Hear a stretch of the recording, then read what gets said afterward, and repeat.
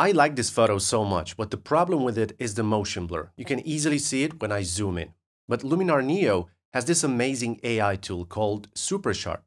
From here, I select motion blur, then I can choose the level of the motion blur. I will go with the high preset this time, and Luminar Neo is doing its magic now, and this is the result. It's mind-blowing what this AI tool can do for you. I mean, look at the wing here, the antennas that were very blurry before, and also the left part of the wing. Look at that. That's a pretty good result with just three clicks, right? This photo is completely usable now, but let's see what other AI tools can we find in Luminar Neo, the sponsor of this video. So another tool that I'm really impressed with is the Accent AI tool under the Enhance AI module. It takes care of common tasks such as dealing with shadows, highlights, contrast, and more. It's basically the whole develop module controlled by AI, which is analyzing everything for you, as you can see in this example. That's the Buckingham Palace there at sunset. The original photo was much darker if we take a look at the before, but now everything has changed, especially on the road here and on the building, and it's pretty much usable. Now, you don't need to reach 100% with these sliders. I don't recommend this, but I just want to show you the differences here. It added contrast, clarity, and the colors stand out better. And this is just by controlling one single slider. Also, at this point, the sky is taking way too much space in this photo, but why crop this photo when I have this sky replacement AI tool here in Luminar Neo? Let's play with it. It basically recommends two different skies based on the current image you're editing. You can also click on the third button and buy other sets of skies from the website, but you will also find lots of skies in the default library here. So let's try the first one and right from the bat we have a very beautiful sky that in my opinion fits perfectly here. In the original image the light comes from the right side and the sky also has the sun coming from the right. If I show this image to someone, this sky replacement will not be noticed. Also, you have this button to flip the image if it's needed, change the horizon position as well as the vertical and horizontal positions. And if this guy does not satisfy you, you just have to click here, open this drop down, choose sunset, and you have some more skies to choose from. Like this one, for example, which I think it fits very well too.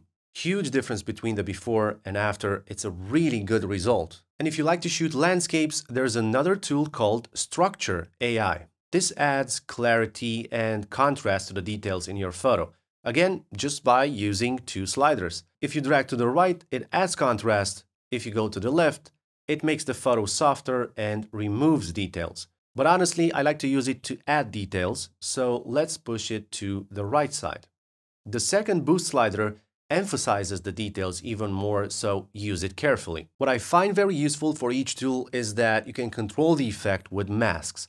For this image, I would like to create more contrast and accentuate details in the middle section of the photo and avoid the sky and the foreground. So after I choose the amount, I click on masking where I can control the mask with a brush, a linear or a radial gradient, or I can let mask AI to do the job for me. But this time I will choose the brush and from here I can add to the mask or I can take out from the mask with erase. I will choose Erase. So I set my brush to be soft and take out all the areas that I don't want to be affected by the structure effect. Here you can see a before and after for this effect and I think this tool is very useful for someone who shoots landscape and nature. You know, there are many times when you take a beautiful photo, but the composition is ruined by some random distracting power lines. Well, in Luminar Neo, you have an AI tool that removes them automatically. Let me show you. All you need to do is to click here on the Erase tool and then remove power lines. And wait until Luminar Neo analyzes the whole image and in the end, it removes the power lines.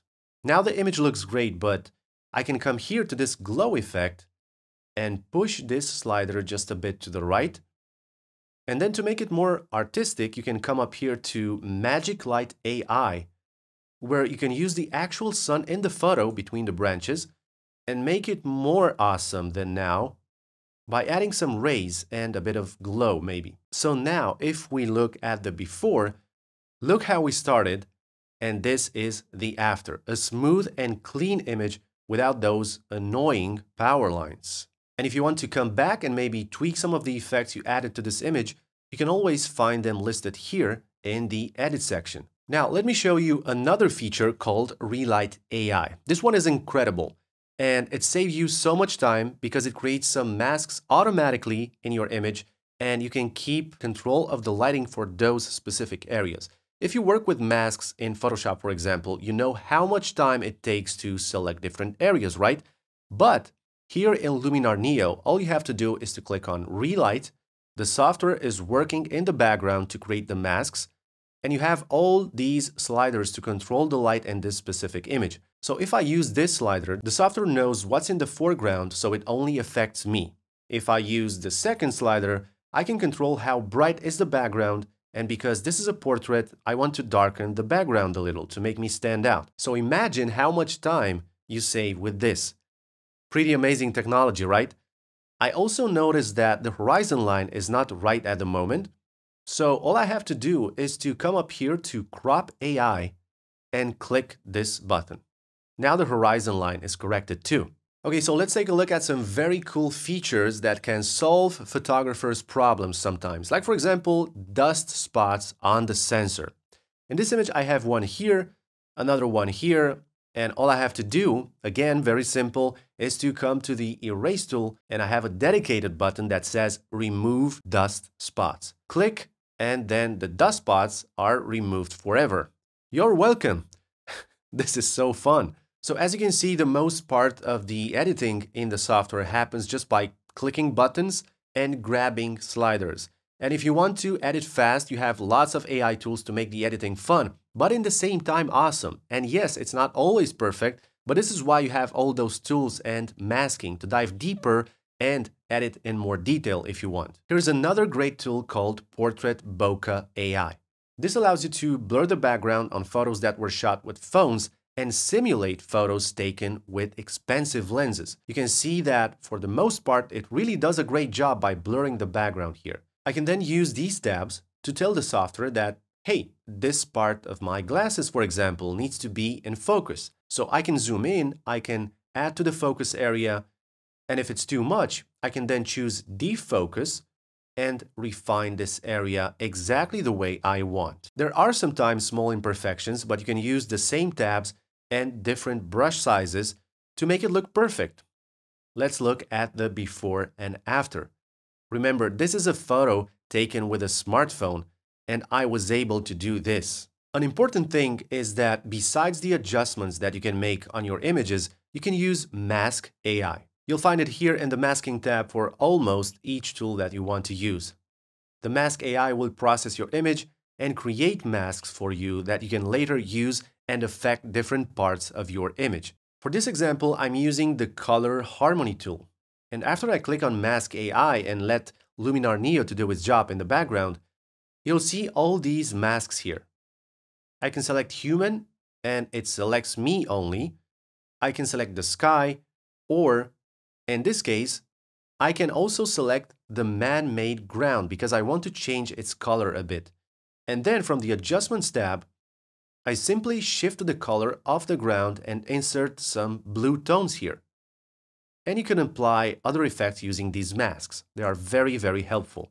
Now, layers are also a part of Luminar Neo. For example, you can click on the plus sign here and add some interesting light leaks from, uh, from this list. Depending on the photo that you're editing, you can change the blending mode and the intensity of this new layer, and you can also use masking for this tool as well. So what you need to know is that the team behind Luminar Neo is constantly improving stuff in the software and they added a bunch of very nice extensions that you can download. For example, the motion blur from the plane shot was repaired using the Super Sharp extension. But you can also download other extensions like HDR merge, noiseless, upscale, background removal, focus stacking, and magic light.